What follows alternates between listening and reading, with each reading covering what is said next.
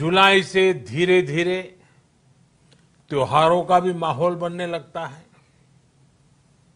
अब आप देखिए, अभी पाँच जुलाई को गुरु पूर्णिमा है, फिर सावन शुरू हो रहा है, फिर पंद्रह अगस्त आएगी, रक्षाबंधन आएगा, कृष्णा जन्माष्टमी आएगी, गणेश चतुर्थी आएगी, ओणम होगा, और आगे जाएँ तो काटी बिहू है, नवरात्रि है, दुर्गा पूजा है दशहरा है, दीपावली है, छठी मैया की पूजा है, त्योहारों का ये समय जरूरतें भी बढ़ाता है, खर्च भी बढ़ाता है।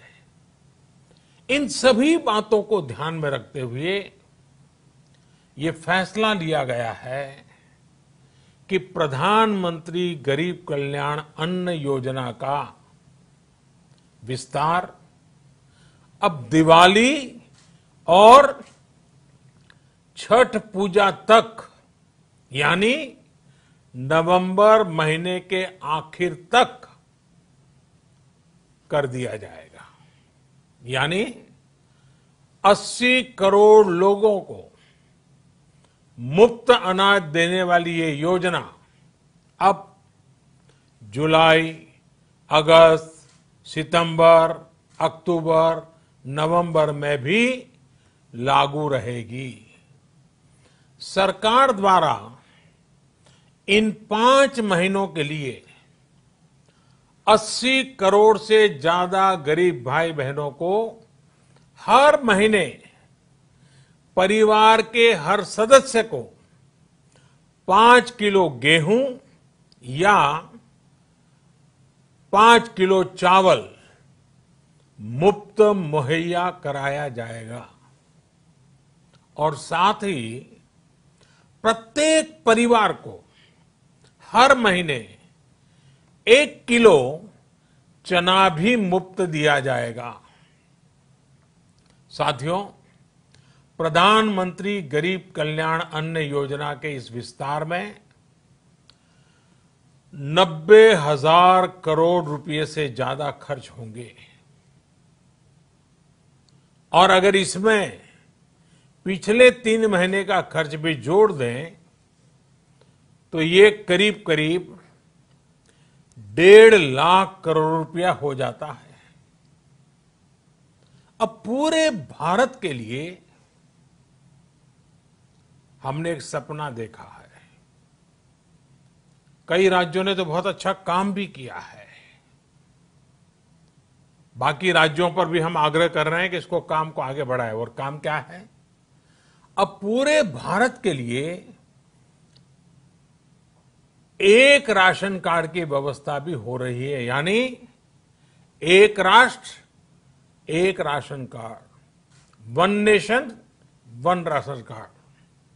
इसका सबसे बड़ा लाभ उन गरीब साथियों को मिलेगा जो रोज़गार या दूसरी आवश्यकताओं के लिए अपना गाँव छोड़ करके कहीं और जाते हैं, किसी और राज्य में जाते हैं।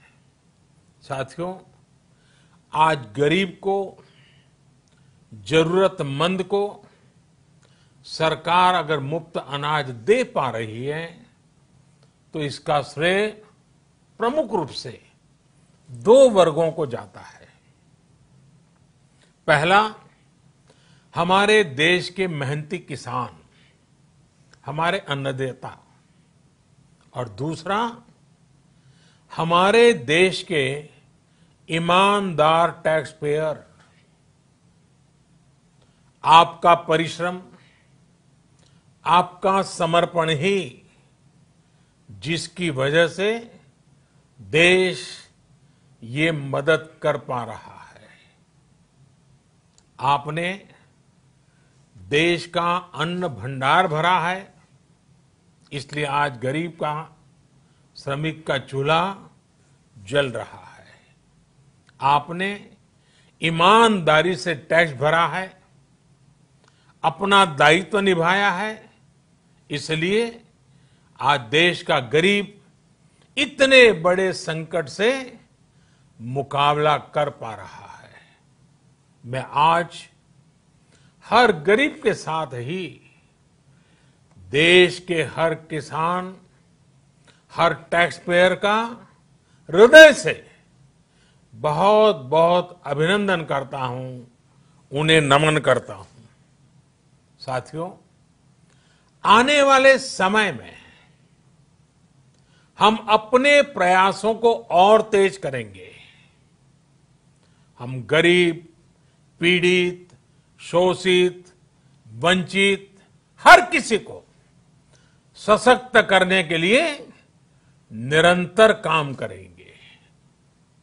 हम सारी एहतियात बरतते हुए इकोनॉमिक एक्टिविटीज़ को और आगे बढ़ाएँगे। हम आत्मनिर्भर भारत के लिए दिन रात एक करेंगे। हम सब लोकल के लिए वोकल होंगे। इसी संकल्प के साथ हम 130 करोड़ देशवासियों को मिलजुल करके संकल्प के साथ काम भी करना है, आगे भी बढ़ना है। फिर से एक बार मैं आप सबसे प्रार्थना करता हूँ, आपके लिए भी प्रार्थना करता हूँ। आपसे आग्रह भी करता हूँ, आप सभी स्वस्थ रहिए, दो गज की दूरी का पालन करते रहिए, गमछा, फेस कवर मास्क ये हमेशा उपयोग कीजिए, कोई लापरवाही मत बरतिए। इसी आग्रह, इसी कामना के साथ मैं आप सभी को बहुत बहुत शुभकामनाएँ देता हूँ। धन्यवाद।